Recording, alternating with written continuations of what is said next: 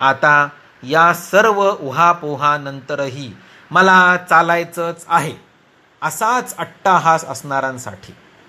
चालण्याचे लाभ तर मिळतील पण चालण्याचे तोटे टाळता येतील असा सुवर्णमध्य सांगतो. सरळ जमिनीवर चालताना कमरेपासून खालील भागातील अस्थि संधी स्नायूंना व्यायाम होतो.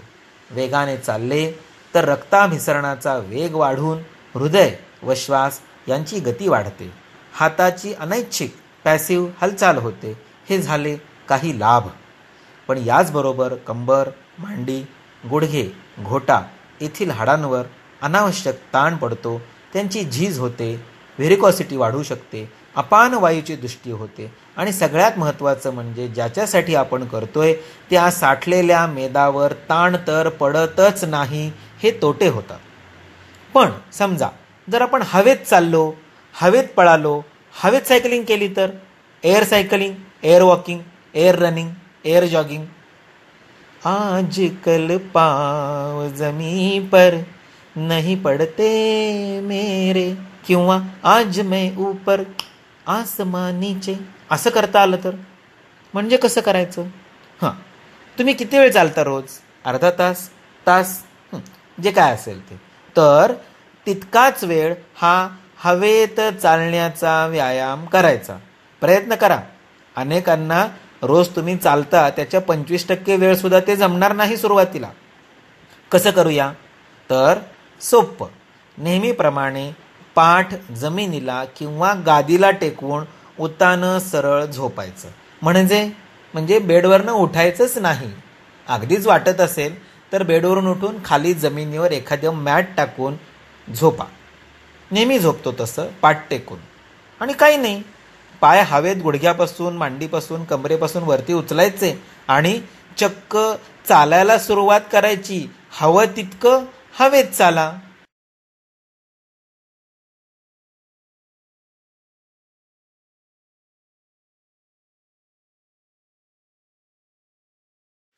गरज पडली तर कोपर जमिनीला किंवा गादीला टेकून नितंब कुल्ले कंभर इथं आपल्याच हाताच्या तळव्यांनी आधार द्यायचा.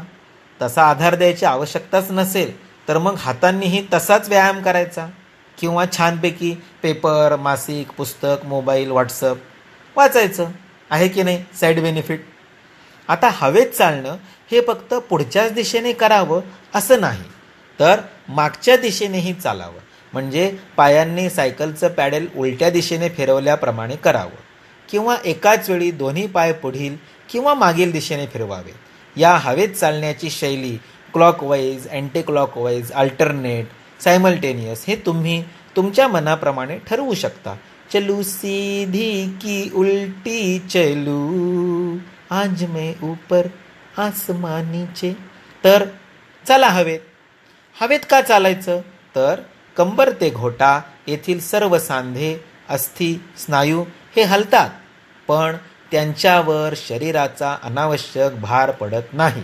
शिवाय गुरुत्वाकर्षणाच्या विरुद्ध दिशेला म्हणजे अपोजिट टू ग्रॅव्हिटी पाय हलत असल्यामुळं त्याच्या टोकाला असलेलं रक्त लिम्फ लॅक्टिक ॲसिड हे सुखानं विनासायास विदाऊट एनी एफर्ट हृदयाच्या दिशेने परत येतं. एल्फाय एस वन इथे भार न येता व्यायाम होतो. म्हणजे व्हेरिकॉसिटीवाले आणि सायटिका स्लिप डिस्कवाले सुरक्षित. संक्षेपत जमिनीवर उभे राहून पायी चालणे पळणे किंवा सायकलिंग यांचे जे तोटे आहेत ते टाळून फक्त लाभ मिळवण्याचा हा हवेत चालण्याचा सोपा उपाय आहे. हवेत चालणं हे कितीही सोयीस्कर आणि सुलभ वाटलं तरीही तो जमिनीवर चालण्याचा एक पर्याय होय. त्याचे लाभ अर्थातच मर्यादित होतात कारण तो पायांपुरता व्यायाम आहे. त्यापेक्षा पाठ मागं वाकवणारी आसनं आणि सूर्यनमस्कार हे सर्वांगीण शारीरिक आरोग्य देणारे व्यायाम आहेत हे ध्यानात घ्यावं.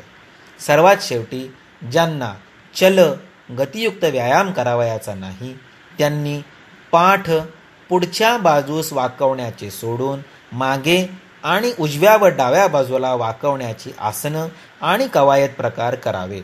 शक्यतो पुढील क्रमाने आसने करावी. पोट छाती स्तन कंबर नितंब गळा मान खांदे येथील मेद फॅट ओबेसिटी लठ्ठपणा लूज वेट कमी करण्यासाठी आसने करण्याचा प्रस्तावित क्रम. पाठ मागे वाकवण्याची आसने. भुजंगासन. पोटावर झोपून पालथ कमरेच्या वरचा भाग मागे उचलणे. शलभासन पोटावर झोपून म्हणजे पालथ झोपून कमरेच्या खालचा भाग वरती उचलणे. धनुरासन म्हणजे पोटावर झोपून म्हणजे पालथ झोपून कमरेच्या खालचा आणि कमरेच्या वरचा दोन्ही भाग हवेत उचलणे.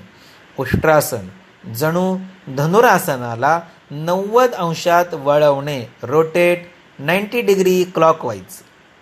चक्रासन म्हणजे उष्ट्रासनाला आणखी नव्वद अंशात किंवा धनुरासनाला रिव्हर्स करणे. रोटेट नाईंटी डिग्री अगेन और धनुरासन इन्व्हर्ट मत्स्यासन म्हणजे उलट धनुरासनच जणू. पाठीचा कणा पिळणे. Spinal twist Ardha Matsyendrasana. पाठीचा कणा बाजूला वाकवणे उजव्या किंवा डाव्या बाजूला वाकवणे म्हणजे कोणासन किंवा त्रिकोणासन. आणि ज्यांना सर्वायकल स्पॉन्डिलासिस आहे टेबल वर्क आहे कॉम्प्युटरवरती काम करायचं आहे टू व्हीलर चालवायची आहे फोर व्हीलर चालवायची आहे सातत्याने मान ताट ठेवून काम करावे लागते त्यांच्यासाठी अत्यंत उपयोगी म्हणजे भद्रासन आणि गोमुखासन. धन्यवाद. तर चालते व्हा हे स्वीकारण्यापेक्षा स्वीकारूया. सूर्य नमस्कार. पूर्वेच्या देवा तुझे. सूर्यदेव प्रभातीच येशी सारा जागवीत गा